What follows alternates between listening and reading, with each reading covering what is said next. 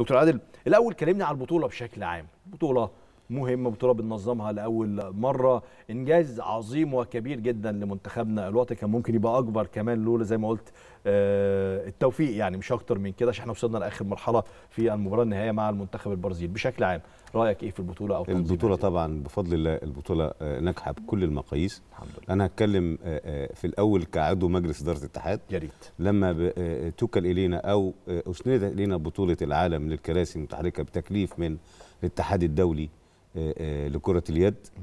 آه، طبعا التكليف هو تكليف وفي نفس الوقت تحدي.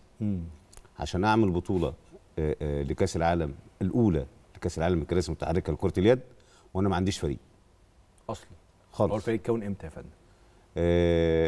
الفريق اتكون قبل البطولة تقريبا بشهرين. بشهرين. بشهرين. وصلنا الفاينل وكنا هناخد البطولة كمان. وكنا إحنا كنا قاب قوسين أو أدنى من من إن إحنا نحقق البطولة. لكن آه، التحدي زي ما قلت لحضرتك آه، آه، أنا بعمل بطولة عندي في مصر وفي نفس الوقت ما عنديش فريق. مم. تيجي إزاي؟ لا منظومة اتحاد كرة اليد ما عندهاش مستحيل. مم. وفكرنا. وكان في مراحل لإيجاد الفريق ده بالصورة الحالية. الأول إن إحنا ما عندناش فريق طيب كرة اليد للكراسي ليها جناحين الجناح الأول لاعب قاعد على كرسي الجناح الثاني لاعب كرة يد. ما عنديش أصلا اللعبة دي بتت- بتتلعب في اللجنة ال- البارالمبية فتوجهنا كله للعيبة اللي قاعدة على الكراسي آه اللعيبة اللي قاعدة على الكراسي كتير.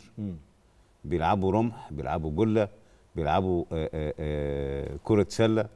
آه، بيلعبوا تنس طاولة. كل دول موجودين على الكراسي في البارالمبي آه بس لكن. مفيش هاندبول آه بدأنا نجمع اللعيبة اللي هم عندهم آه، آه، ذوي احتياجات خاصة بدرجات مختلفة من الإعاقة جمعنا حوالي آه، فوق ال فوق ال 80 أو 90 لاعب في المركز الاولمبي في المعادي مم. وحاولنا نعملهم اختبارات عشان يقعدوا على الكراسي ويتحركوا. لقينا من ال 80 أو أو تقريبا ال 90 لاعب اتنين لعيبة فقط ممكن نأهلهم يبقوا يا handball خبر. طب أنا عندي فريق عايز بكون فريق. طبعا. فاتجهنا لكرة السلة. كرة السلة بي هم already بيتحركوا على الكراسي. آه فمشكلة الحركة على الكراسي آه، تكاد تكون معدومة بالنسبة لهم إن هم بيتحركوا عليها وبيلعبوا عليها ويجروا وفي نفس الوقت بيتباروا مبارياتهم ودوري شغال. فالمشكلة دي مش موجودة عندهم. خالص. خلاص عندهم الميزه الاولى لكن ما عندهمش التكنيك بتاع كرة اليد. كرة اليد. أه. ودي مشكلة أكبر. آه. آه، واجهتنا صح. فبدأنا إن إحنا نكثف جهودنا في اختيار اللاعبين. اخترنا العناصر كان عددهم كبير في الأول. قلصنا العدد.